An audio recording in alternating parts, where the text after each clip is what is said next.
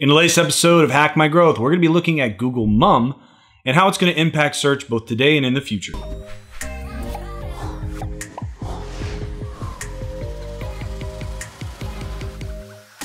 Hey, thanks for checking out this video. If it's your first time watching or maybe been watching a while and you haven't yet hit that subscribe button, please do now. We create new content each and every week to help you get the most out of your digital marketing activities. If you find something interesting or helpful along the way or you have a question, please comment below. We'd love to continue that conversation with you.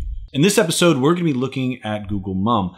We're going to look at specifically how it's going to be integrated into search, what are some of the changes that we're going to see, and how we can set ourselves up for success both today and in the long run. All right, let's go. All right, we got a big one here. This is Google Mum and the future of search. So, what is Mum and why should we care? So Google announced MUM on May 18th, 2021, and MUM stands for Multitask Unified Model. So MUM uses something called T5. It's a text-to-text framework. Uh, it's kind of one of the uh, the iterations or improvements to BERT, uh, but it's a thousand times more powerful than BERT. This is not BERT. This is something this is something new. Now BERT really jump started a lot of this really in-depth uh, NLP work and there's been a number of changes and in growth, and it's kind of spurred all these other types of language models like GTP, uh, Roberta, Alberta. There's a ton of them out there. And MUM is, is using T5. And as you can see here, T5 does a really good job of a number of tasks. And as you can see, there's a little, little GIF here to the side, which is from Google that shows T5 and kind of what it's doing. And it does a number of really cool things from language transformation to um, extraction text generation, summarization, and more. And Google has used that in order to build MUM. Google announced on September 29th, 2021, that now they'll be integrating MUM into Google search over the next few months. So what makes MUM so special? Well, the first thing is is text generation. MUM not only understands language, but it can generate it that's one of the areas that T5 was making some massive changes in and advancements in, and Mum is taking it even further. So not only can Mum look at the language and understand what it means, it can reply, it can give other text uh, answers, it can generate text based on the inputs that you've given it. Uh, it's multilingual. Now, this is pretty big deal. It's been trained across 75 different languages in a ton of different tasks at once, and allows it to develop a more comprehensive understanding of information than these other previous models. Uh, it understands the meaning between one language and another. So let's say you ask a question in Spanish, but you want an English answer. They'll, mum knows that answer and it can understand the context between languages. That's a huge advancement when it comes to language models. Uh, and then it's also multimodal, which, which means that it understands information across text as well as images and in the future, it's going to expand even further to things like video and audio. So not only can it read text and know what it means, it can look at an image, understand what's happening in that image, look and see if there's text within that image, and understand the information and the connection between the two. And like I said, it's going to be expanding into video and audio as well. This is a pretty big advancement when it comes to language models. Uh, and now that it's going to be used within Google Search, it's going to allow them to really understand context even further. So on this slide, we've got two different applications of MUM within search. And if we look to the right, uh, right here, this is uh, from the Google product blog that they did about this.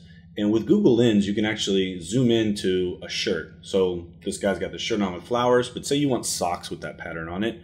So now you can ask a question, can you give me socks with that same pattern? And MUM can identify that floral pattern and try to find socks that might match or go along with that shirt. That's pretty impressive. Now on the other side, on the right side, let's say you want to fix something but you don't know what it is. With Google Lens, you can take a picture and say, how do I fix this thing? Um, and then mum will, will, will go, okay, I know what that is. And based on what you're looking for, this is uh, some videos on how to fix that. So as you can see, it's making search much more helpful. Um, it's allowing us to do a lot more things. It's allowing us to ask different questions about the things that we're seeing, almost like we're interacting with a person, uh, which is pretty intense, right? So, like, how do I fix this thing? You know, you could send it to a friend. Instead of doing that, you're sending it to Google. They're understanding what you mean, they understand exactly what it is, and they're giving you the information you need. So, how is MUM going to impact search? Well, they're going to be doing a redesign of search based on the learnings that they've had with MUM and the capabilities of MUM. Now there's three big changes coming to Google search. So this is things to know, the ability to zoom in and out of topics, and an increased use of visual search. So things to know. This looks similar to like a people also ask, but it's much deeper. So Google now has a much deeper understanding of how people explore a specific topic, and they're going to show the aspects that people are most likely to look at first. So they're going to give you, you know, step-by-step instructions, or they're going to give you guides and styles and tips and more uh, within this things to know area. So this is a very interesting feature because it's not just questions from users. It's now taking all that data that Google has, aggregating it in the most explored parts of this, or the aspects that people are most likely to do first, and then giving that to the user to walk them through the process. Google is also expanding the ability to broaden or refine your search. So they're giving users the ability to explore ideas and letting them zoom in and out of a specific topic. So you've got options like refine this search, where they're going to give you some different keywords. This is kind of like related search terms, right? Uh, so that's going to allow you to go deeper into something, but you can also broaden it. So it can give you these this option of like uh, going up a level as well. So they're covering the entire topic, the entire journey from both a very high level to a very refined level. And this is very important to understand that they're looking at things within an entire topic set and not just solely within a keyword or a specific niche. Uh, this is something we really need to pay attention to. And if you haven't been creating content like this, now is the time to really start thinking about this. They're also going to be making a big update visually within visual search. They're making it easier to find uh, visual inspiration, is what they say on their page, uh, with with images right within search. So, for instance, they're looking at puddle pouring ideas and painting, right? And here you can see uh, these are not just images coming from image search, which we have at the top, but if you scroll down, you see that Google is now pulling images from web articles and from pages and from video and more to make it more visually appealing. So all the different aspects of your page are going to play a huge role today uh, based on how Google's going to be extracting images and leveraging those. So again, from a marketing standpoint, what kind of images are you using and are you capturing visually the things that you're talking about within your content? So here's a bonus. Uh, this this wasn't technically part of the search redesign, but it is something within video, which is pretty expansive. Google now also understands topics within videos, uh, and they can share related topics, even if they're not explicitly mentioned in the video, to the user based on this advanced algorithm update.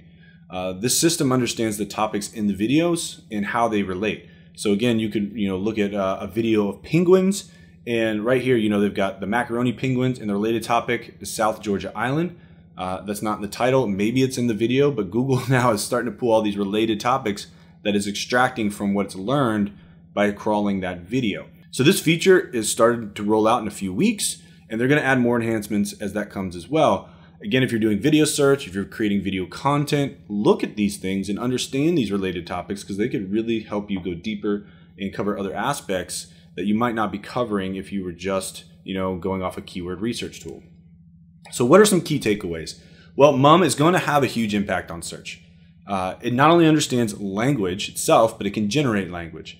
MUM is multilingual and it can connect information between languages. It's also multimodal, which means it understands information across text and images, and it's going to expand into video and audio. And then Google is using MUM to redesign search and create a, a really different user experience and probably a better user experience based on the learnings that it had. So we've got things coming like things to know, uh, broaden and refine your search, and increase use of visual search and topic search within video content itself. So what can you do? How can you leverage this information to create better content strategies, better search strategies to make sure that you not just rank, but you rank through the entire funnel? Well, MUM at its core is all about creating deeper connections between concepts and how people search for that information within the topic itself. So you need to focus on creating topic authority. And you need to do this in a way that's also visually appealing. Cover your niche uh, in detail and help your audience find the information they need from going broad to very, very refined. You need to make sure that you have all of that covered if it fits within what you're trying to do. You also need to think about building a knowledge graph within your site and leveraging structured data to help the crawlers better understand the context of your content. Structured data helps that. Uh, it uses linked open data, which feeds into these tools. These tools learn off linked open data. And so when you give them that information, you remove any ambiguity and you allow them to understand exactly what you're talking about. So if you're new to semantic search or you're just getting started with semantic search and you want to be able to set yourself up for success, I have a course on that and it's going to give you the tools you need to get yourself started. And it's going to do it in a way where you don't have to be an expert, uh, you don't have to have any basis of coding, but we're going to walk you through the process uh, as we go. So whether you're a long-time SEO or whether you're just getting started, this course has actionable insights for you. Because you're a YouTube watcher, you can get this course uh, at 25% off by using the code semantic SEO, and you can sign up at learn.simplifiedsearch.net. Thanks again for watching this video. If you got any questions on MUM and the impact that you might see in the future, or you want to add any insight to this video, please comment below. We'd love to continue that conversation with you. Don't forget to share and subscribe, and we'll see you next time.